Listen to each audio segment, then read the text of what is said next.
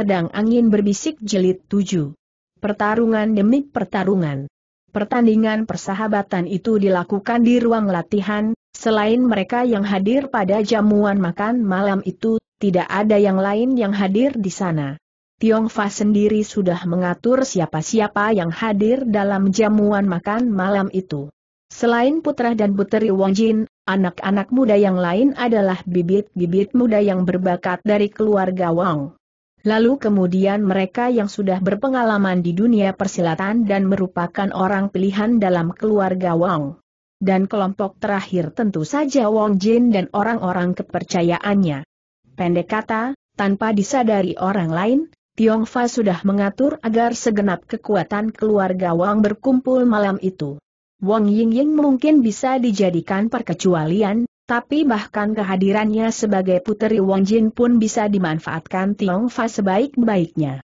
Dalam rencana yang ada di angan-angannya sudah terbayang, bagaimana Ding Tao akhirnya akan tunduk di tangan salah satu jagoan keluarga Wang. Dia sudah membayangkan kata-kata penghiburan yang akan diucapkan, lalu dengan sedikit dorongan dia akan menempatkan Wang Ying Ying sebagai penghibur dan perawat Ding Tao. Dalam sekali jerat, bukan hanya pedang didapatkan tapi keluarga Wang pun akan mendapatkan satu kekuatan lagi. Tentu saja, kalau nanti ternyata Ding Tao keok di tangan anggota terlemah yang hadir malam itu, Tiong Fa akan membalikan keadaan. Si cantik Wang Yingying, baginya terlalu berharga jika hanya digunakan untuk menggaet jagoan kelas kambing. Suasana di ruang latihan itu jadi sedikit menegangkan, meskipun tadinya banyak yang memandang Ding Tao sudah terlalu sombong setelah dua tahun menghilang. Setelah mereka siap untuk berhadapan dalam satu pertarungan, mau tak mau mereka mulai bertanya-tanya, apakah bukan mereka yang kelewat tinggi menilai diri sendiri. Ding Tao sendiri justru mendapatkan ketenangannya di ruang latihan itu baginya tidak ada masalah apakah dirinya akan menang atau kalah saat itu. Ding Tao yang sudah dibuat percaya penuh pada kemuliaan hati para pemimpin keluarga Wang, tidak melihat adanya masalah jika pedang itu jatuh ke tangan mereka. Jika sampai dirinya yang memenangkan pertandingan itu.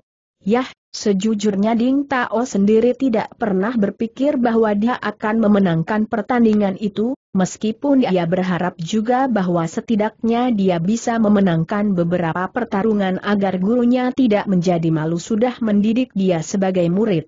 Inilah pertarungan yang pertama sejak dua tahun yang silam. Ada juga dalam hatinya rasa penasaran dan ingin menguji, sebenarnya sudah sejauh mana kemajuannya dalam menekuni ilmu bela diri. Karena itu wajah-wajah yang tegang dari orang-orang muda dalam keluarga Wang, tampak begitu kontras dengan wajah Ding Tao yang tenang, dan penampilannya yang tenang ini. Tentu saja membuat banyak perasaan yang hadir di situ semakin bergetar. Terutama mereka yang belum mempunyai keyakinan penuh atas kemampuannya sendiri. Perlahan-lahan Tiong Fa mengedarkan pandangannya ke sekeliling Arna. Kali ini Tiong Fa memang berperan sebagai sutradaranya, bahkan Wong Jin yang menjadi kepala dari keluarga Wang pun tidak ikut memberikan masukan sedikit pun, karena dua alasan. Yang pertama, dia percaya penuh pada kelicinan Tiong Fa, dalam hatinya Wang Jin mengakui bahwa kecerdikan orang kepercayaannya ini ada di atas kecerdikannya sendiri.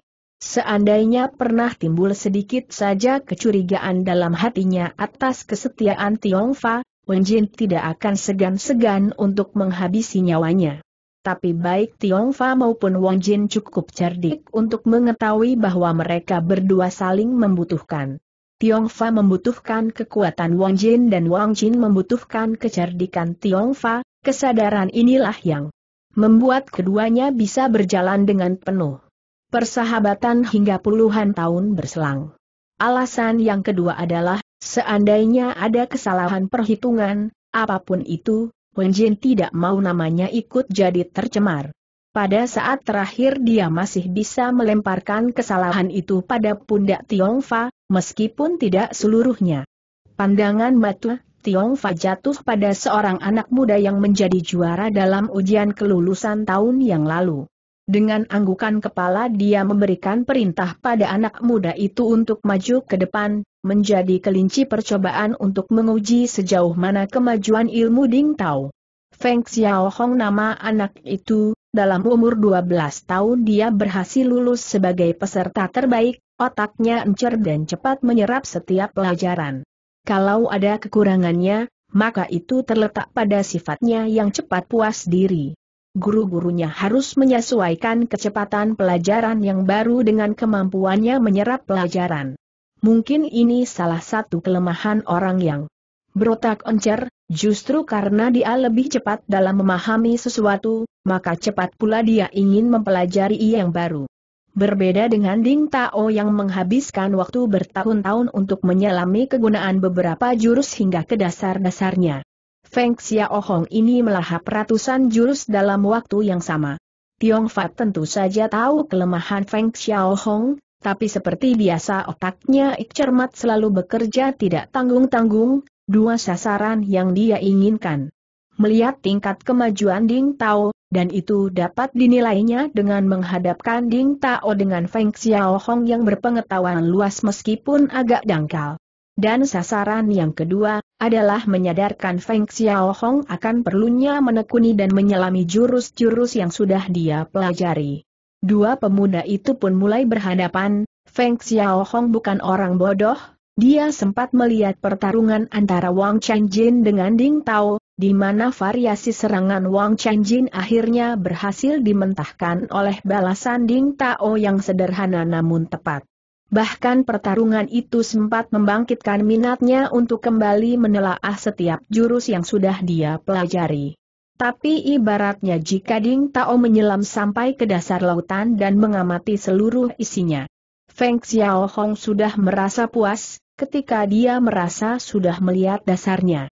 Sebuah jurus yang indah segera dilancarkan oleh Feng Xiao Hong, pedang kayunya bergerak membuat lingkaran serangan dengan cerdiknya disisakannya lubang di antara serangan itu.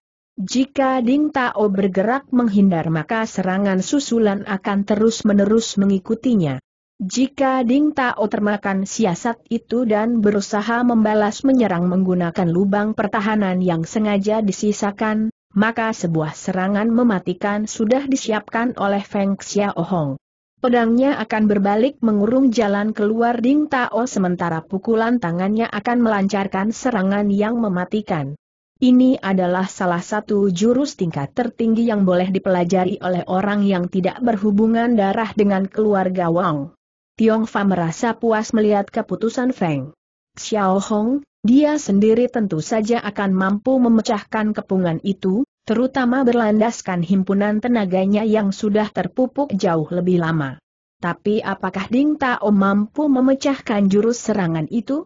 Pada gebrakan pertama Ding Tao bergerak menyurut ke belakang, mereka yang sedang mengamati pertandingan itu melihatnya dengan berbagai tanggapan. Bagi mereka yang berada di tingkat terbawah, Jurus yang dikeluarkan Feng Xiao Hong adalah jurus pamungkas dari bagian lanjutan yang diajarkan pada mereka yang tidak memiliki pertalian darah dengan keluarga Wang. Sudah tentu, bagi mereka jurus ini adalah jurus yang tidak terpecahkan, bagi mereka Ding Tao yang belajar dari Gu Tongdang adalah sama dengan mereka. Bagi Ding Tao tentulah jurus ini adalah jurus serangan yang pamungkas, tidak terpecahkan.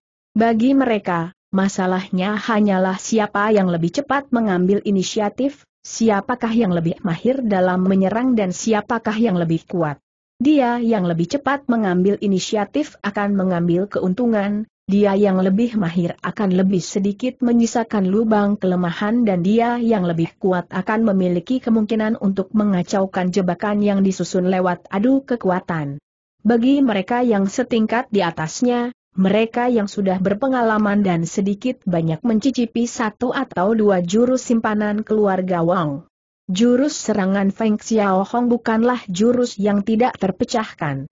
Setelah mengikut sekian lama dan berkelana sekian lama di dunia persilatan, akhirnya mereka pun bisa melihat dan menilai jurus pamungkas yang menjadi milik mereka selama dalam pelatihan mereka ini sudah banyak yang mengembangkan sendiri jurus-jurus yang ada berdasarkan apa yang mereka lihat dan alami. tentu dengan warna dan bentuknya masing-masing, sesuai dengan bakat dan pengalaman yang unik dari tiap orang. Mereka ini memandang dengan waspada dan penuh rasa ingin tahu, apakah Ding Tao pun sudah berhasil memecahkan jurus itu? Kalau iya, dengan care apa pemuda itu akan melakukannya? Lalu bagi mereka yang memiliki pertalian darah dengan keluarga Wang serta telah menamatkan keseluruhan ilmu keluarga Wang, kelemahan dan pemecahan jurus serangan Feng Xiaoho sudahlah jelas dan bagi mereka itulah care yang terbaik. Dengan pandangan dingin mereka menunggu untuk melihat sejauh mana Ding Tao berhasil mendalami jurus-jurus keluarga Wang yang sempat dia pelajari lewat Gutong Dang. Terutama mereka yang dekat dengan para pimpinan, karena menghilangnya Ding Tao sudah menjadi salah satu perhatian mereka, Tiong Fai yang menyebarkan para mata matanya dengan yakin menyatakan bahwa jejak Ding Tao tidak ditemui di perguruan silat atau tokoh persilatan yang mana pun. Itu berarti satu-satunya sumber Ding Tao adalah ilmu bela diri keluarga Wang. Permasalahannya tinggal sejauh mana pemuda itu mampu mendalami dan mengembangkannya. Ini sangat menarik bagi mereka, karena dari sini mereka bisa menilai seberapa tinggi bakat yang dimiliki Ding Tao. Tapi gerakan Ding Tao yang berikutnya membuat semua orang terpana. Seperti yang sudah diduga, bila Ding Tao bergerak menghindar, maka itu akan berarti gerakan pedang Feng. Xiao Hong akan mengejar dan berusaha membuat kedudukan Ding Tao semakin buruk. Bila pada gebrakan pertama Ding Tao bergerak menyurut mundur, demikian pula pada gebrakan kedua dan ketiga. Tapi menginjak serangan ketiga dan seterusnya, pedang Ding Tao ikut bergerak bersamaan dengan gerak mundurnya. Gerakan pedang Ding Tao tidaklah cepat atau kuat, tapi tepat seirama dengan gerakan pedang Feng Xiao Hong, dalam beberapa gebrakan yang terjadi mengejutkan setiap orang, pedang Ding Tao bagaikan menempel pada pedang Feng Xiao Hong. Tidak ada yang lebih jelas tentang apa yang dilakukan Ding Tao selain Feng Xiao Hong sendiri. Jika pedang Feng Xiao Hong bergerak ke kanan, maka pedang Ding Tao akan tepat mendorong pedang Feng Xiao Hong lebih jauh ke kanan. Jika bergerak ke kiri maka demikian pula pedang Ding Tao seakan menempel dan ikut mendorong pedangnya ke kiri. Dalam waktu singkat gerakan Feng Xiao Hong menjadi kacau balau, keringat dingin keluar, pedang Ding Tao bagaikan bayangan hantu. Bahkan ketika dia berusaha melepaskan diri. Dengan mundur, pedang itu terus mengikutinya. Menempel dan tidak pernah lepas. Kali ini Feng Xiao Hong lah yang bergerak mundur dan menghindar, Sementara Ding Tao bagaikan lintah melekat erat atau bagai hantu dan arwah yang membayangi Feng Xiaohong. Memucat wajah setiap orang yang menyaksikan hal itu, tidak seorang pun dari mereka yang bisa membayangkan hal itu akan terjadi. Bukan kenyataan bahwa Ding Tao bisa mengalahkan Feng Xiaohong, akan tetapi cara Ding Tao mengalahkan Feng Xiaohong yang jauh di luar dugaan mereka. Tidak lama setelah Ding Tao berhasil menggerak Feng Xiao Hong mundur, Ding Tao berhasil menekan pedang Feng Xiao Hong hingga terlepas dari tangannya, ujung pedang Ding Tao pun berakhir di depan tenggorokan Feng Xiao Hong. Tidak perlu juri untuk menentukan siapa pemenangnya, bahkan tidak perlu menunggu pedang Ding Tao mengancam tenggorokan Feng Xiao Hong untuk tahu siapa pemenangnya, Sejak Ding Tao berhasil menempel pedang Feng Xiao Hong akhir dari pertandingan itu sudah bisa ditebak. Dengan muka merah dan pucat berganti-ganti Feng Xiao Hong pun mengakui kekalahannya dengan badan lemas bercampur kagum, aku mengaku kalah. Ding Tao. Jangan dipikirkan saudara Feng, hanya sedikit keberuntungan di pihakku, hibur Ding Tao sambil balas membungkuk dengan hormat. Cara Ding Tao mengalahkan Feng Xiao Hong, Ucapannya, bisa saja ditangkap sebagai kesombongan atau penghinaan, tapi bila melihat ekspresi wajahnya yang tulus dan jujur. Dari tiap kata dan gerak-geriknya bisa tertangkap ketulusan dan niat yang bersahabat. Feng Xiao Hong pun tersenyum, pemuda ini memang sering memandang tinggi dirinya sendiri, tapi dia bukan pula orang yang sempit hatinya. Dia memang tidak sungkan-sungkan untuk mengunggulkan bakatnya dibandingkan bakat orang lain, tapi tidak malu-malu juga untuk mengagumi orang lain yang lebih berbakat dari dirinya. Jangan bodoh, kalah dengan cara begini sudah tentu bukan masalah keberuntungan. Selamat saudara Ding, tidak. Kusangka ada juga cara seperti itu, ujarnya dengan sungguh-sungguh dan senyum di bibir. Senyum pun merekah di wajah Ding Tao, alangkah menyenangkan bisa melakukan pertandingan persahabatan, menguji diri sendiri, menambah pengalaman, mencoba hal-hal yang baru dan lebih-lebih lagi mendapatkan sahabat baru. Dia pernah hidup selama 18 tahun di keluarga Wang. Sudah tentu cukup lama juga dia mengenal Feng Xiaohong. Tapi Feng Xiaohong yang tinggi hati ini tidak memandang sebelah mata pada dirinya yang dianggapnya dungu. Bukan menghina, hanya seakan-akan tidak ada orang yang bernama Ding Tao di dunia Feng Xiaohong. Tapi kali ini Feng Xiaohong memandang dirinya dengan penuh persahabatan. Tiong Fa yang sempat terkejut melihat Ding Tao mengalahkan Feng Xiaohong dengan cepat menguasai hatinya. Otaknya berputar cepat, bakat Ding Tao jelas berada di luar dugaannya, tapi dia masih yakin pada akhirnya Ding Tao akan kalah. Permasalahannya sekarang siapa yang harus ditunjuknya. Jika orang berikutnya kalah dengan cara yang sama mengenaskannya, moral dari keluarga Wang bisa semakin terpuruk.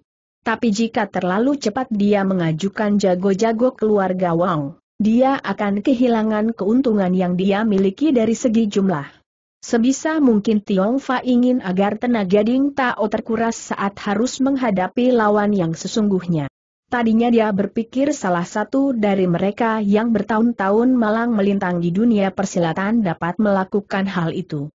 Mungkin Wimo yang sering bertugas mengawal barang-barang kiriman keluarga Won ke daerah yang berbahaya, sudah beberapa kali jagoan itu bersama dengan rekan-rekannya menghadapi pentolan penjahat yang punya nama.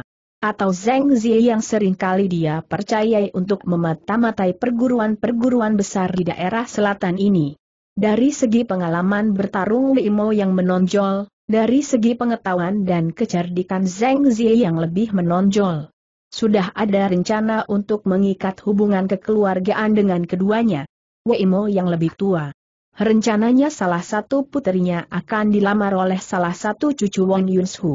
Untuk Zheng Zi yang masih muda dan belum menikah, sedang dicarikan salah satu anak gadis keluarga Wang yang dirasa cocok tapi melihat Keroding Tao mengalahkan Feng Xiaohong, mau tidak mau Tiong Fa harus berpikir ulang.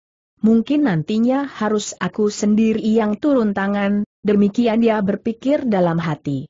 Melihat tingkat Ding Tao, sudah sepantasnya jika Tiong Fa menunjuk Wei Mo atau Zheng Ziyi, tapi bukan Tiong Fa namanya jika melakukan sesuatu hanya berdasarkan kepantasan. Setelah mengerutkan alis sejenak dia memandang ke salah seorang murid yang dilatihnya sendiri. Z.H. Ulizhi, coba kau maju. Pemuda yang dipanggil merasa sedikit terkejut, pameran keahlian yang ditunjukkan Ding Tao sudah membuat dia merasa takluk. Tapi dengan mengeraskan hati dia maju ke depan dan dengan gagah membungkuk memberi hormat pada Ding Tao. Sepertinya kali ini aku yang mendapat berkah untuk menerima pelajaran darimu saudara Ding. Sama-sama saudara ZHU. Awas serangan. Kali ini serangan yang dilakukan ZHU Lizhi adalah serangan yang sederhana saja, mengambil pelajaran dari Feng Xiaohong tadi, ZHU Lizhi tidak ingin kena tempel oleh pedang Ding Tao, Karenanya dia justru mengutamakan kecepatan dan kekuatan dengan jurus-jurus yang sederhana yang lebih berkonsentrasi pada pertahanan. Murid Tiong Fa tentu bukan orang sembarangan, sesuai sifatnya yang cermat, Tiong Fa pun menekankan kecermatan dan kecerdikan pada murid-muridnya dalam satu pertarungan. Karena itulah Tiong Fa memilih ZH Ulizhi, dia tidak berharap ZH Ulizhi memenangkan pertandingan ini, harapannya hanya agar ZH Ulizhi dapat mengambil pengalaman yang akan menguntungkan dia dalam perkembangan ilmu silatnya. Sekaligus karena dia yakin ZH Ulizhi akan dapat bertahan cukup lama dan sedikit banyak membantunya menguras tenaga Ding Tao. Sesuai harapannya pertandingan kali ini berlangsung cukup seru. Serangan ZH Ulizhi tidaklah serumit jurus yang dilancarkan Feng Xiaohong. Tapi jurus yang sederhana dilancarkan dengan cermat dan tepat, sebaliknya pertahanan ZH Ulizi sangatlah rapat, sehingga meskipun mudah bagi Ding Tao untuk mematahkan serangan ZH Ulizi, tidaklah demikian untuk mengalahkannya. Melihat jalannya pertandingan, diam-diam Tiong Fa mendesah lega. Mungkin penilaiannya terhadap Ding Tao tadi terlalu tinggi, mungkin Feng Xiao Hong yang terlalu terburu-buru. Oh, Jurus sudah berlalu dan Ding Tao belum membuat gebrakan yang berarti. Bahkan Feng Xiao Hong pun mengerutkan alisnya, bagi seseorang yang sudah pernah menghadapi Ding Tao secara langsung, hal ini menimbulkan keheranan dalam dirinya. Sebenarnya Ding Tao memang belum mengerahkan segenap kemampuannya, jika tadi dia menjadi terbangkit kegembiraannya saat dipaksa menghadapi jurus pamungkas yang dikeluarkan Feng Xiao Hong. Saat dia menghadapi ZH Ulizi perasaannya sudah sedikit mengendap. Tadinya dia sempat khawatir Feng Xiao Hong akan merasa tersinggung dikalahkan dengan cara demikian, betapa lega hatinya saat Feng Xiao Hong ternyata bisa menerima kekalahan dengan hati terbuka. Oleh karena itu saat menghadapi ZH Ulizi, Ding Tao tidak terburu-buru mendesak lawannya. Meskipun dengan mudah dia mematahkan serangan ZH Ulizhi tapi dia tidak mendesak ZH Ulizhi terlalu hebat. Sekali dua kali dia mendesak dan berhasil menempatkan ZH Ulizhi di posisi, di mana dalam benaknya terbayang bagaimana dia akan mengakhiri perlawanan ZH Ulizhi, tapi pada dua atau tiga langkah terakhir dengan sengaja dilepaskannya ZH Ulizhi, Keputusan ZH Ulizi untuk lebih mementingkan pertahanan, memberikan Ding Tao ruang gerak yang leluasa untuk mengembangkan permainan. Dengan tidak adanya desakan. Desakan yang berarti dari ZH Ulizi, Ding Tao jadi bebas untuk mencoba-coba, jurus-jurus yang sudah dia pelajari selama ini. Meskipun demikian Ding Tao melakukannya dengan sangat berhati-hati, karena dia tidak ingin membuat ZH Ulizi merasa dipermainkan. Karena itu bagi mereka yang menyaksikan, pertandingan itu tampak berimbang. Setelah jurus berlalu barulah Ding Tao memutuskan untuk mengakhiri perlawanan ZH Ulizi. Bukan dengan pameran kekuatan atau keahlian seperti yang dia lakukan pada pertarungan pertama. Tapi justru dengan serangan-serangan yang wajar, tapi setiap serangan memiliki tujuan. Tanpa terasa ZH Ulizhi digiring oleh serangan-serangan Ding Tao untuk sampai pada jurus tertentu dan posisi tertentu. Ketika ZH Ulizhi menyadari bagaimana posisi di dadanya terbuka lebar dari sudut tempat pedang Ding Tao mengincar, barulah dia sadar telah masuk dalam jebakan Ding Tao. Dalam waktu yang sekejapan itu, Tiba-tiba pertarungan mereka yang sebelumnya seperti tampak jelas dalam ingatan ZH Ulizi dan sadarlah dia, bahwa sejak tadi Ding Tao sudah melakukan hal yang sama. Bahkan sebelum dia merasakan hantaman pedang kayu itu di dadanya, ZH Ulizi sudah memejamkan mata mengakui kekalahan dirinya. Dua orang sudah berhasil dikalahkan, seperti juga Feng Xiao Hong ZH Ulizhi menerima kekalahannya dengan lapang dada. Apalagi di saat terakhir dia tersadar bahwa Ding Tao sudah banyak mengalah padanya dalam pertandingan tadi. Dengan setulusnya pemuda itu membungkuk hormat pada Ding Tao, selamat saudara Ding, ilmumu ternyata sudah maju jauh melampaui kami semua yang seangkatan dengan dirimu. Ah saudara ZHU terlampau memuji, Ketatnya pertahanan saudara ZHU sungguh membuatku kagum, jawab Ding Tao dengan ramah. Sekilas ZHU Lizhi mengamati wajah Ding Tao, sempat timbul pertanyaan dalam hatinya apakah orang di hadapannya ini sedang hendak menyindirnya. Maklum gurunya adalah Tiong Fa yang licin, tapi ketika terpandang wajah Ding Tao yang bersih dari segala tipu daya, senyum persahabatan pun mengembang di wajah ZHU Lizhi. Dalam hati dia merasa takluk luar dalam pada Ding Tao, baik pada ilmu pedangnya, maupun pada watak dan karakter dari pemuda itu. Apalagi ketika dia terbayang sifat gurunya yang sering kali membuat dia selalu menebak-nebak, ada apa di balik wajah agung sang guru. Berhadapan dengan Ding Tao, barulah ZH Ulizhi bisa merasakan seperti apa rasanya memiliki seorang sahabat yang bisa dipercaya.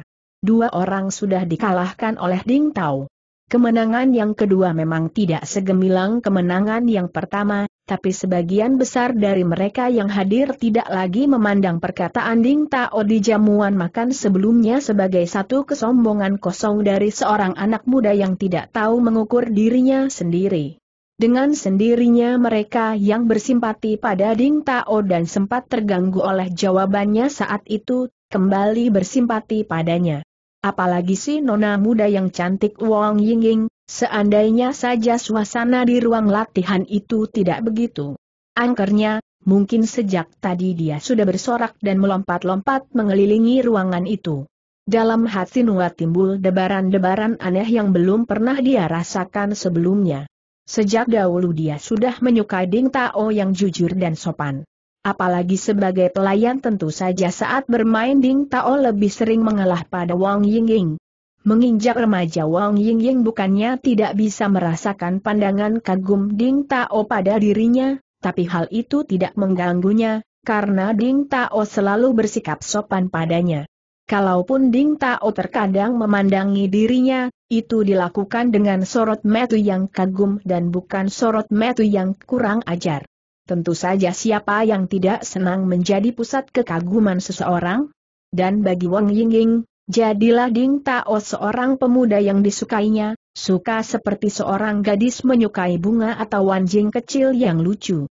Kalau bunga yang indah layu atau anjing yang lucu itu terluka tentu gadis itu akan merasa sedih, tentu ada perasaan ingin melindungi atau ingin mengajak bermain anjing yang lucu itu tapi perasaan yang dirasakan Wong Ying Ying pada Ding Tao sekarang sungguh jauh berbeda. Hal itu dirasakannya sejak Ding Tao kembali setelah menghilang selama dua tahun, lalu sekarang pemuda itu berdiri di sana, berdiri dengan tegap tapi luwes, dengan pedang di tangan. Tubuhnya yang tinggi, semakin terlihat tinggi ketika berdiri sejajar dengan pemuda lainnya, Feng Xiao Hong yang bertubuh jangkung pun hanya setinggi puncak hidungnya apalagi berhadapan dengan ZH Ulizhi yang hanya setinggi bahunya. Bahunya lebar, serasi dengan tinggi badannya, jika Feng Xiao Hong yang jangkung sering kali dikatainya seperti tiang jemuran, tidak demikian dengan Ding Tao. Pakaiannya yang sederhana dan sedikit terlalu sempit, justru menonjolkan otot-otot yang lihat yang tersembunyi di balik bajunya. Alisnya tebal, matanya memancarkan kepercayaan diri, garis rahang yang kuat dan senyum yang tulus menghiasi wajah pemuda itu.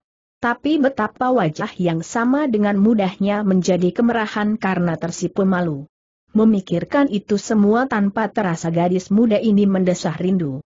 Saat dia sadar mukanya pun terasa panas, dengan sedikit rasa khawatir dia menengok ke kiri dan ke kanan, Hatinya sedikit lega ketika dilihatnya perhatian semua orang sedang tertuju pada Ding Tao dan tidak ada yang sempat memergoki gerak-geriknya.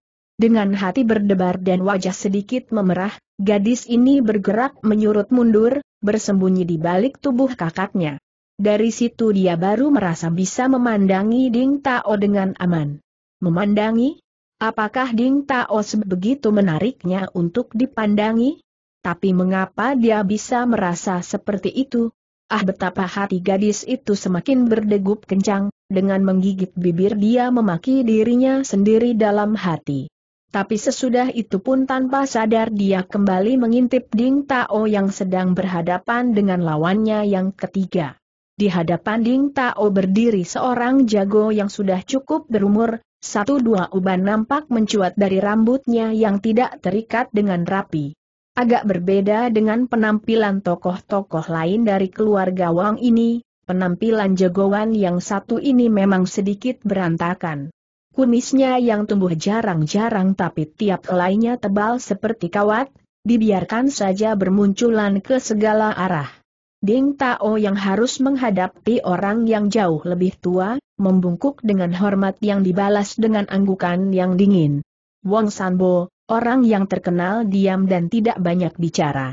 Dalam setiap urusan tidak pakai terlalu banyak basa-basi, begitu juga gaya bertarungnya. Ketika dia melihat Ding Tao tidak kunjung juga menyerang, tanpa sungkan-sungkan dialah yang pertama kali menyerang. Menurut kebiasaan, biasanya yang lebih tua memberi kesempatan yang muda untuk lebih dulu menyerang. Kali ini Ding Tao yang serba sungkan, tidak berani menyerang lebih dulu sebelum lawannya yang lebih tua menyuruhnya demikian. Sementara Wong Sanbo yang tidak peduli segala macam aturan, melihat Ding Tao berdiri menunggu tanpa banyak pertimbangan mendahului menyerang. Buat Wong Sanbo tidak ada bedanya siapa yang menyerang lebih dulu, kalau Ding Tao kalah langkah karena terlambat mengambil inisiatif maka itu salah Ding Tao sendiri. Dan tiba-tiba tanpa banyak babi bu, sebuah tendangan kilat dilemparkan, menggempur ke arah kaki Ding Tao. Begitu keras tendangan jago tua ini, hingga terdengar angin menderu-deru. Setelah menghadapi dua lawan yang penuh sopan santun, tidak urung Ding Tao kaget juga saat tiba-tiba mendapatkan serangan. Gaya serangan Wang Sanbo justru lebih sederhana lagi dibandingkan jurus serangan ZH Ulizhi, tapi kecepatan gerak dan tenaga yang dibawanya berkali-kali lipat lebih mengerikan. Untuk beberapa saat Ding Tao pun terdesak. Gaya Wong Sanbo berkelahi memang seperti banteng ketaton, tidak jarang meskipun pedang Ding Tao mengancam tubuhnya, jago tua ini tidak juga menghentikan serangannya, malah dilontarkan serangan yang lebih hebat seakan mengajak Ding Tao mati bersama. Diserang dengan gaya membabi buta ini, untuk beberapa saat Ding Tao jadi kewalahan. Antara memahami teori sebuah ilmu bela diri sudah tentu lebih sukar daripada menerapkan teori itu dalam pertarungan yang sesungguhnya. Dalam sebuah situasi yang relatif tenang di ruang latihan dengan gerakan pelatih yang memang sengaja untuk melatih jurus yang sedang dipelajari, tentu sangat berbeda dalam pertarungan yang sesungguhnya, di mana lawan bergerak secepat mungkin dengan arah serangan yang tidak bisa diduga. Kondisi inilah yang terbentuk ketika Ding Tao harus menghadapi Wong Sanbo, tidak seperti dua lawan sebelumnya yang benar-benar menyerupai sebuah pertandingan persahabatan. Berbeda juga dengan perkelahiannya melawan Wang Changjin dua tahun yang lalu, karena saat itu Wang Changjin bukan menyerang bak orang kalap seperti yang dilakukan Wang Sanbo. Melawan Wang Sanbo, Ding Tao dipaksa untuk bereaksi secepat mungkin, tanpa sempat menghitung-hitung rencana selanjutnya. Ini pengalaman yang berharga buat Ding Tao, baru setelah lewat berpuluh jurus, barulah Ding Tao bisa menyesuaikan diri. Dengan gaya permainan Wang Sanbo yang bagaikan angin puyuh, membadai tiada henti. Perlahan-lahan Ding Tao kembali bisa menerapkan pemahamannya akan ilmu yang sudah dia pelajari dalam pertarungan yang dia jalani. Seperti pada saat melawan ZH Ulizhi, sedikit demi sedikit Ding Tao mulai menebarkan perangkap bagi Wang Sanbo, bedanya dia tidak sempat berpikir terlalu panjang, dia dipaksa untuk menentukan sikap dalam hitungan kejapan mata. Beberapa kali sempat juga pukulan dan tendangan Wang Sanbo mampir di tubuhnya. Karena pilihannya terkena pukulan atau terkena tusukan atau sabetan pedang dan Ding Tao memilih yang pertama. Sebenarnya akibat yang dihasilkan tidak jauh berbeda karena pedang yang mereka gunakan adalah pedang kayu, tapi dalam benak pemuda itu, pertandingan ini adalah bagian dari pembelajaran untuk menghadapi pertarungan yang sesungguhnya. Pertandingan dengan kayu ini adalah bagian dari ujian terhadap dirinya, apakah dia benar-benar mampu mengemban tugas gurunya untuk membinasakan Renjuo Chan. Dan dalam pertarungan yang sesungguhnya jika dia harus memilih luka mematikan dari senjata tajam atau memar di tubuh, tentu dia memilih yang kedua. Meskipun demikian tidak ada serangan Wang Sanbo yang benar-benar masuk dengan telak. Pukulan dan tendangan yang mampir di tubuh Ding Tao tidaklah telak mengenai daerah yang berbahaya seperti ulu hati atau jantung, yang bisa menimbulkan luka dalam. Bahkan jika pertandingan ini adalah pertarungan yang sesungguhnya, dengan pedang baja yang tajam, mungkin sudah sejak beberapa waktu yang lalu jago tua ini mati oleh pedang Ding Tao. Bagaimana tidak, entah sudah berapa sering Wang Sanbo menyerang tanpa mempedulikan ancaman pedang Ding Tao. Tidak seperti Ding Tao yang bersikap seakan-akan menghadapi pedang yang sesungguhnya, Wang Sanbo justru memanfaatkan kenyataan bahwa yang mereka pakai adalah pedang kayu. Bisa jadi akan membuat tulang retak atau patah, tapi Wang Sanbo masih cukup yakin pada kelihatan tubuhnya yang ditopang hawa murni. Bahkan untuk membuktikan hal itu ada satu dua kali, di mana ujung pedang Ding Tao sempat pula mampir di tubuh jago tua ini. Jago tua ini bukannya tidak memahami hal ini, sebenarnya sudah sejak berapa jurus yang lalu, rasa kagum yang jujur muncul dari dalam hatinya. Hanya saja wataknya yang keras tidak mengizinkannya berhenti sebelum Ding Tao berhasil menjatuhkan dirinya dengan telak. Tapi seperti ZH Ulizhi yang perlahan tapi pasti jatuh dalam permainan jurus Ding Tao, Wang Sanbo pun tanpa sadar telah masuk dalam perangkapnya. Dalam gerak terakhirnya, Ding Tao telah berhasil menempatkan Wang Sanbo di posisi yang dia inginkan. Dengan sengaja sebuah loban pertahanan dia tunjukkan. Bagi Wong Sanbo sebenarnya tidak ada pilihan lain kecuali menyerang lobang pertahanan tersebut. Jika tidak maka dari posisi pedangnya yang sekarang Ding Tao bisa menyerang ubun-ubun jago tua itu. Ibarat orang bermain catur, tinggal selangkah lagi dan Wong Sanbo terkena skakmat. Apa pun langkah yang dia pilih, tidak nanti dia bisa lepas dari serangan maut Ding Tao. Wong Sanbo yang melihat lubang di pertahanan Ding Tao, memaksakan diri untuk menyerang, meskipun pada saat itu kedudukannya tidaklah menguntungkan. Untuk menyerang Ding Tao dia harus melakukan bergerak memutar dan untuk sekian kejap punggungnya akan terbuka lebar. Tapi itulah yang dia lakukan, dengan sekuat tenaga jago tua itu mengemposkan seluruh tenaga simpanannya dan melakukan tendangan berputar. Gerakannya sebat, kakinya menyambar bagai kilat, tapi sayang sasaran yang dituju tidak ada di sana.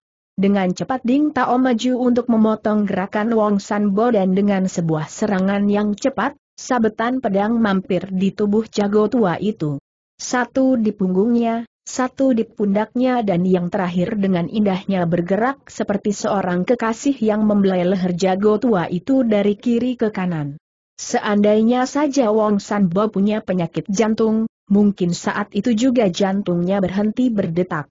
Ketegangan jago tua itu bagaikan meledak saat dia merasakan pedang Ding Tao membelai lehernya. Bisa dia bayangkan jika Ding Tao memegang pedang yang sesungguhnya, tentu lehernya sudah menggelinding di lantai. Jagoan tua itu pun menutup matanya untuk sesaat, untuk menenangkan diri sekaligus mengatur kembali nafasnya yang sudah memburu. Saat dibukanya mata, terlihatlah di hadapannya Ding Tao yang berdiri dengan serba salah. Paman Wang, UHM, maafkan anak Ding. Heh, kau menang, ujar jago tua itu dengan singkat sebelum keluar dari arena pertandingan. Untuk sesaat desahan nafas terdengar memenuhi ruangan itu, terutama dari mereka yang masih berumur muda. Rupanya pertandingan tadi telah menyita segenap perhatian mereka dan mencapai klimaksnya saat Ding Tao mengakhirinya dengan serangan yang mematikan. Dari wajah-wajah mereka mudah saja dilihat siapa yang bersimpati dan sekarang menjagoi Ding Tao, dan siapa yang masih mengharapkan kemenangan dari keluarga Wang.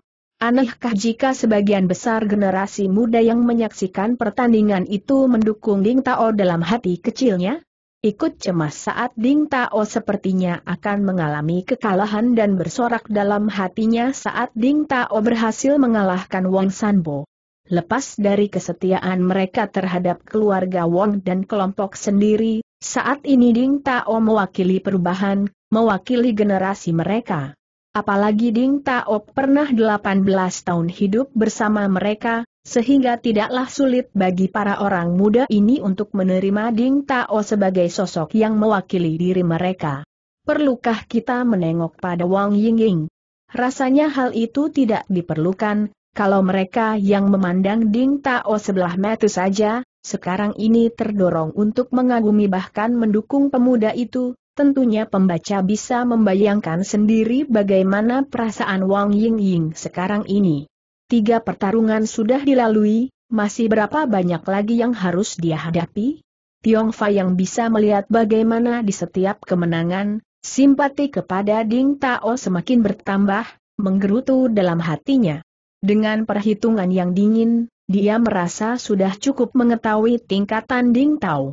Cukup satu kali lagi pertandingan yang menguras tenaga dan dia akan maju sendiri untuk mengakhiri perlawanan anak muda itu. Zhang Ziyi berdiri tidak jauh dari Tiong Fa, dengan sebelah tangannya Tiong Fa menggamit Zhang Ziyi lalu menggerakkan kepalanya, memberi tanda pada Zhang Ziyi untuk maju menghadapi Ding Tao. Zhang Ziyi bukanlah orang semacam Feng Xiaohong, ZH Ulizhi atau Wang Sanbo. Jika dia sering mendapat tugas menjadi matu-matu oleh Tiong Fa, sebabnya adalah kemampuan dia untuk mengamati keadaan serta mengambil kesimpulan. Tidak seperti yang lain, Zhang Ziyi tentu saja tidak termakan bualan Tiong Fa, dia tahu apa pun yang terjadi dalam pertandingan hari ini, pedang itu pasti akan lepas dari tangan Ding Tao. Masalahnya hanyalah apakah Ding Tao akan menyerahkannya dengan sukarela atau dengan care paksa. Zhang Ziyi juga pandai menilai tingkatan ilmu bela diri lawannya. Tahu keadaan lawan dan tahu keadaan sendiri, dengan sendirinya seratus kali bertempur seratus kali pula meraih kemenangan. Kalau Zhang Ziyi masih hidup sampai sekarang melewati tugas-tugas berbahaya, itu bukan hanya karena kemampuan ilmunya yang tergolong sudah mapan, tapi dia juga tahu kapan harus berkelahi dan kapan dia harus lari. Jika harus menghadapi Ding Tao dalam perkelahian hidup dan mati, Zhang Ziyi akan lebih memilih lari, karena meskipun dia masih memiliki harapan untuk menang melawan Ding Tao tapi baginya saat ini seberapa dalam ilmu Ding Tao belum dapat dia pahami dengan benar. Dalam penilaiannya Ding Tao masih penuh dengan kejutan. Sambil berjalan ke dalam arna otaknya berputar memikirkan siasat untuk melawan Ding Tao. Berbeda dengan Wang Sanbo yang dingin, Zhang Ziyi menyapa Ding Tao dengan senyum hangat. Heh, setelah dua tahun menghilang, kau tiba-tiba jadi makin hebat saja anak Ding, apa kau menemukan buah sakti atau obat dewa? Matanya berputar dan mengedip dengan nakal pada Ding Tao. Ding Tao jadi tertawa geli dan menjadi jauh lebih rileks. Tidak Paman Zeng, hanya saja guru mengajarku baik-baik. Oh begitu, tapi kalau kau benar dapat obat dewa, jangan lupa kau bagi sedikit pada pamanmu yang tambah tua ini. Sambil tertawa Ding Tao menjawab, tentu paman, aku tidak akan lupa. Baiklah sekarang kita harus saling menguji kemampuan kita masing-masing. Sebagai yang lebih muda kau mulailah lebih dahulu. Baik paman. Setelah mereka sama bersiap dan berhadapan, dengan sopan Ding Tao memulai, awas serangan paman. Oh, siapa bilang yang mengambil inisiatif terlebih dahulu akan mengambil keuntungan darinya? Mungkin saja benar demikian, tapi tidak kali ini. Kalau Tiong Fa cerdik seperti Musang, Zhang Ziyi mungkin pantas dipanggil Musang kecil. Setelah beramah tamah dengan Ding Tao, diberinya kesempatan Ding Tao maju lebih dulu. Jika lawannya bukan Ding Tao, jika ini bukan pertandingan persahabatan, mungkin berbeda yang terjadi. Tapi yang kita bicarakan di sini ini adalah Ding Tao, bukan hanya lugu tapi juga sejak kecil sudah diajar untuk menghormati orang yang lebih tua. Benar dia bergerak lebih dulu, tapi serangannya bukanlah serangan yang membahayakan Zhang Ziyi, bukan pula serangan yang akan membuat Zhang Ziyi terpaksa mundur ke posisi yang merugikan. Bukan juga bagian dari siasat untuk mendesak Zhang Ziyi mengikuti permainan silat Ding Tao. Serangan setengah matang semacam ini tentu saja tidak merugikan Zhang Ziyi, justru serangan mentah ini menjadi kerugian buat Ding Tao. Perlu dipahami saat seseorang menyerang tentu ada bagian dari pertahanannya yang terbuka. Serangan bisa menjadi pertahanan yang baik, jika serangan itu dilancarkan dengan tepat. Kalaupun gagal mencapai hasil. Setidaknya serangan itu memaksa lawan untuk mundur atau menangkis serangan, sehingga tidak sempat memanfaatkan celah-celah yang timbul untuk balik menyerang. Teori ini tentu saja dipahami dengan baik oleh Ding Tao, tetapi pemuda itu terlanjur terbawa oleh suasana persahabatan yang diumpankan oleh Zhang Ziyi. Siapa sangka serangan Zhang Ziyi justru telengas dan sebat, tak sepadan dengan senyum di wajahnya. Dengan satu gerakan yang sama Zhang Ziyi mudah saja menghindari serangan Ding Tao, sekaligus masuk ke dalam daerah pertahanannya. Tangannya pun cepat terjulur menghajar ke dada Ding Tao, sementara pedangnya mengayun menutup jalan mundurnya. Padahal di saat itu tangan Ding Tao yang memegang pedang sudah terlanjur maju dalam gerakan menyerang. Untuk menarik serangannya jelas tidak sempat, tapi jika Ding Tao mengelak mundur maka pedang akan menghajar tubuhnya, mau tidak mau Ding Tao harus menerima hajaran Seng Ziyi. Untung Ding Tao masih sempat menggeser posisi tubuhnya dan menyilangkan satu tangannya di depan dada. Meskipun tidak sepenuhnya dapat menahan serangan Zheng Ziyi, setidaknya mampu mengurangi sebagian dari daya serangan itu yang mencapai jantungnya. Tapi bahaya belum lewat sepenuhnya karena pedang di tangan Zheng Ziyi sudah siap mengancam punggung Ding Tao. Hebatnya Ding Tao, serangan yang di depan dia tahan, serangan yang dari belakang pun tidak lepas dari pengamatan. Pada saat yang bersamaan pedangnya sudah ditarik mundur, bergerak menyelang menjadi perisai bagi punggungnya. Diam-diam Zheng Ziyi memuji kecekatan anak muda itu, tapi kekagumannya tidak membuat dia menjadi bermurah hati pada pemuda itu. Tanpa mengendurkan sedikit pun serangan kali ini kakinya yang bergerak menendang ke depan. Dalam beberapa gebrakan saja, Zhang Ziyi sudah berhasil mendesak mundur Ding Tao. Bukan hanya itu saja, pemuda itu dapat merasakan betapa jantungnya tergetar saat telapak Zhang Ziyi mampir di dadanya tadi. Rupanya tanpa sungkan. Sungkan Zhang Ziyi sudah mengerahkan segenap hawa murni yang dia miliki di balik pukulannya tadi. Jika pemuda itu tidak rajin-rajin berlatih dan menghimpun hawa murni sejak dia mulai belajar, Mungkin sekarang pemuda itu sudah tergeletak dengan jantung yang terluka parah. Beruntung dia memiliki himpunan hawa murni yang cukup mapan, lagi pula gerakannya menghindar dan melindungi dada, mengurangi sebagian lontaran tenaga Zhengzi. Tapi tetap saja aliran tenaganya menjadi kacau, sementara serangan Zhengzi tanpa hentinya dilancarkan tanpa belas kasihan. Baru kali ini Ding Tao menghadapi situasi di mana dia harus mati-matian menyelamatkan diri. Bahkan pada saat kekalahannya ketika melawan Wang Chanjin, keadaannya masih jauh berbeda. Dia masih memiliki ruang untuk mengamati, berpikir dan merencanakan jurus yang harus dia lancarkan. Tapi tidak kali ini, rasa nyeri di dadanya, ditambah lagi serangan Zheng Zi yang bervariasi dan dilancarkan tanpa henti membuat dia tidak memiliki kesempatan untuk berpikir. Sama sekali. Berbeda dengan serangan Wang Sanbo yang membadai tapi sederhana bentuknya. Serangan Zheng Zi selain dilambari dengan penggunaan hawa murni yang menggiriskan hati, setiap serangan tentu memiliki kerumitan di baliknya. Jika tadi Ding Tao membuat lawannya bergerak menuruti permainannya, Kali ini Ding Tao jatuh dalam permainan seksi. Jangankan untuk melepaskan diri bahkan untuk bernafas pun hampir-hampir tidak. Dengan cepat tenaganya terkuras, otaknya dipaksa berputar keras. Keadaan Ding Tao benar-benar bagaikan telur di ujung tanduk. Mereka yang bersimpati pada Ding Tao pun sama-sama mengalirkan keringat dingin. Sementara seulas senyum terbentuk di wajah Tiong Fa dan para tokoh pimpinan keluarga Wang. Sudah terbayang kemenangan keluarga Wang di depan mata, apalagi jika mereka membayangkan bahwa setelah ini mereka akan dapat menarik Ding Tao untuk memperkuat barisan.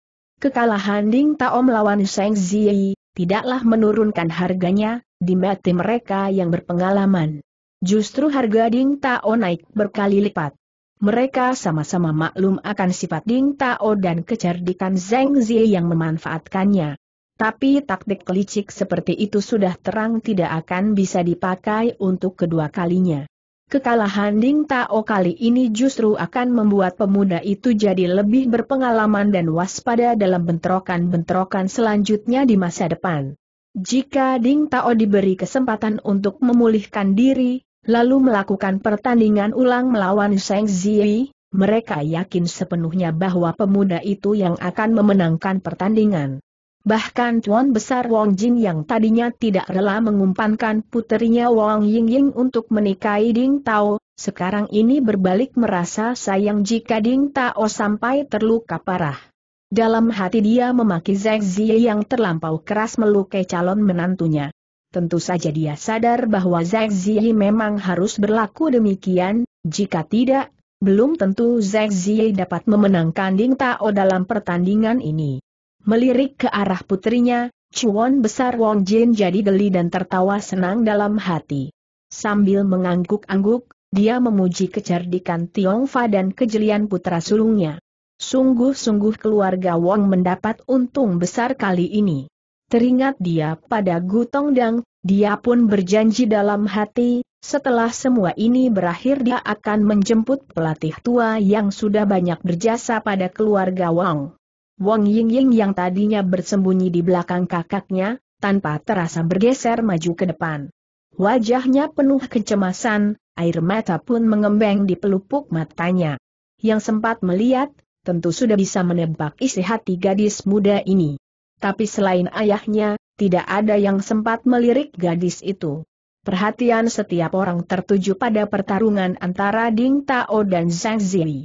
Serangan Zhang Ziyi yang membadai dan keuletan Ding Tao yang berusaha bertahan. Setiap saat selalu saja mereka disuguhi dengan gebrakan yang mendebarkan hati. Entah sudah berapa kali mereka sempat berpikir, akhirnya, kalah juga pemuda itu, atau robohlah dia sekarang. Tapi dengan keras kepalanya pemuda itu masih sempat saja untuk meloloskan diri. Yang tidak disangka semua orang adalah sebenarnya saat itu Zhang Ziyi sudah hampir berputus asa. Pengetahuannya yang luas dalam ilmu bela diri sudah diperasnya habis-habisan. Selain dari ilmu keluarga Wang, Zhang Ziyi memiliki banyak simpanan ilmu yang didapatnya saat dia memata-matai perguruan besar yang ada di daratan. Tapi kali ini dia bertemu batunya, yaitu Ding Tao yang hanya mempelajari ilmu keluarga Wang tapi berhasil menangkap intisari dari ilmu keluarga Wang. Ding Tao memang belum berhasil menyelami hak kekai ilmu bela diri sampai kedalaman yang terdalam, mendaki hingga puncak yang paling puncak. Di mana semua aliran yang berbeda itu bisa dipahami bersumber sari satu sumber yang sama di mana menguasai yang satu sama artinya dengan menguasai semua. Tapi dia sudah menyelami ilmu keluarga Wang hingga tuntas, sehingga sedikit banyak, pemahaman itu sudah ada padanya, meskipun masih berupa bayangan yang tidak jelas. Itu sebabnya berhadapan dengan jurus serangan Zheng Zi yang berbagai macam jenisnya, Ding Tao masih bisa menyelamatkan diri. Bahkan sedikit demi sedikit, ruang geraknya menjadi semakin luas. Zhang Ziyi justru sebaliknya, semakin lama dia bisa merasakan genggamannya atas diri Ding Tao semakin melemah, ikan yang sudah terkail olehnya itu mulai melepaskan diri. Mereka yang di luar pertarungan tentu saja tidak bisa memahami hal ini, karena sampai sekarang pun Ding Tao masih saja harus pontang-panting menyelamatkan diri dari serangan Sheng Ziyi. Hingga terkejutlah mereka ketika melihat bagaimana pertarungan itu berakhir. Saat itu Zhang Ziyi sedang melancarkan satu tendangan ke arah Ding Tao yang sedang bergerak mundur. Seharusnya Ding Tao masih dapat menangkis serangan, tapi di luar dugaan mereka justru pemuda itu membiarkan perutnya terkena tendangan Zhang Ziyi. Bukan main hebatnya tendangan itu, meskipun Ding Tao sudah bersiap-siap dengan memusatkan hawa murninya di bagian itu. Tidak urung dia harus menggertakkan giginya kuat-kuat untuk meneruskan rencananya. Sebenarnya Zhang Ziyi sudah bersiap-siap dengan serangan yang berikutnya, tapi tindakan Ding Tao di luar dugaannya. Dengan menerima tendangan itu, Ding Tao meluncur lebih jauh lagi ke belakang, memberinya ruang untuk balik melancarkan serangan. Tanpa memperbaiki posisi terlebih dahulu, tidak juga menghimpun dahulu tenaga yang membuyar. Ding Tao langsung melancarkan serangan. Serangan itu sederhana saja, tapi dilontarkan dengan segenap kekuatan yang dimilikinya. Zhang Ziyi pun mundur untuk kemudian berbalik menyerang karena dia tahu tentu himpunan tenaga Ding Tao belumlah sepenuhnya pulih setelah terkena tendangannya tadi. Tapi ternyata serangan itu hanyalah gertakan saja, saat Zhang Ziyi mundur, Ding Tao ikut menyurut mundur. Ketika Zhang Ziyi sadar, dalam waktu yang singkat itu Ding Tao sudah berhasil mengatur kembali aliran hawa murni di tubuhnya dan sebelum Zhang Ziyi sempat bereaksi dia sudah melancarkan serangan selanjutnya. Itulah serangan yang dilancarkan oleh Feng Xiao Hong sebelumnya, kali ini Ding Tao yang memainkannya dan perbawa jurus itu terasa jauh lebih hebat. Gulungan hawa pedang menyambar Zhang Ziyi. Sayang lawannya adalah Zhang Ziyi, Zhang Ziyi sudah lama merenungi jurus serangan ini dan sudah memegang care untuk memecahkannya. Inti serangan jurus itu terletak pada jebakan yang siap menyambut lawan, saat lawan berusaha memanfaatkan celah yang sengaja dibuka. Tapi jika lawan sudah bersiap terhadap jebakan itu, lalu apa artinya jebakan itu? Muka Zhang yang sempat pucat saat dirinya salah memperhitungkan reaksi Ding Tao kembali berwarna. Dengan sigap dia menyerang melalui celah yang sengaja dibuka. Ketika dilihatnya pukulan Ding Tao menyambar, dia sudah siap. Pedang yang menusuk hanyalah pancingan, dengan sebat gerakan itu berubah di tengah, berbalik hendak memangkas tangan Ding Tao yang maju menyerang. Entah ada berapa banyak pasang metu yang terhenti nafasnya. Tapi bukan tangan Ding Tai yang terpapas, sebaliknya justru pedang Ding Tao yang menempel pada leher Zhang Ziyi. Rupanya pukulan Ding Tao itu pun hanyalah serangan palsu. Di balik muslihat, ada muslihat. Serangan pedang yang seharusnya hanya merupakan pancingan justru menjadi serangan yang sesungguhnya. Pukulan yang tersembunyi ternyata hanya pancingan. Pucat wajah Zhang Ziyi, kejadian ini di luar dugaannya, tapi pedang sudah melintang di depan lehernya. Tidak ada lagi yang bisa dia lakukan kecuali mengakui kekalahannya. Kali ini beberapa orang yang mendukung Ding Tao tanpa sadar bersorak, meskipun dengan cepat sorakan itu terhenti dan mereka yang bersorak cepat-cepat menunduk dengan wajah bersalah. Apalagi ketika mereka merasa pandangan mata para pimpinan keluarga Wang yang tajam menusuk, ditujukan pada mereka. Untuk beberapa saat Zhang Ziyi kehilangan kata-kata, ketika akhirnya dia membuka mulut nada suaranya terdengar lesu dan senyumnya terasa dipaksakan, Heh, anak Ding, rupanya aku pun harus mengakui kehebatanmu. Nafas Ding Tao masih sedikit tersengal, banyak tempat di sekujur tubuhnya yang terasa sakit, tapi dikuat-kuatkannya juga untuk menjawab dengan sesopan mungkin, maafkan aku Paman Zeng, hanya keberuntungan saja, kalau tidak tentu sudah sejak tadi aku terjungkal oleh pukulan dan tendangan paman. Zhang Ziyi mengangguk-angguk, kemudian menepuk pundak pemuda itu sebelum kembali ke pinggir arena. Seperti saling berjanji, pandang mata setiap orang sekarang tertuju pada Tiong Fa, sudah jelas bahwa pertandingan ini dialah yang mengatur. Dalam hati setiap orang bertanya-tanya, siapa lagi yang akan diajukan oleh Tiong Fa, Apakah belum cukup kemampuan yang ditunjukkan oleh Ding Tao? Ketika Tiong Fa dengan langkah yang tenang berjalan ke tengah harna, tanpa terasa banyak dari mereka yang mendukung Ding Tao, menutup mata dan menghela nafas. Pikir mereka, sayang sekali, sebenarnya sungguh tidak adil, tapi kali ini habislah Ding Tao.